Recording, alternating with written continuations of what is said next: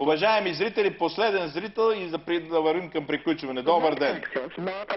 Добър ден. Кажете, моля. Здравейте, господин Солаков. Да. Вам само ви поздравявам. Да. А, искам така един принципен въпрос да засегна. Виждам, винаги измисляте някакво ново заглавие, царство, калинки, вампири, политически скопци и така. Всеки път проявявате таланта си. Но в пиара има едно правило. Някои неща трябва да се повтарят. А, а ние като че непрекъснато ги откриваме. Например, че Бойко Борисов е мутра. Затова предлагам в новините не министър-председателя да го си казвате мутрата Борисов днес се Не, чакайте сега. В пиара как се... А, посочва ли се, че не трябва да се мешат питиетата, например?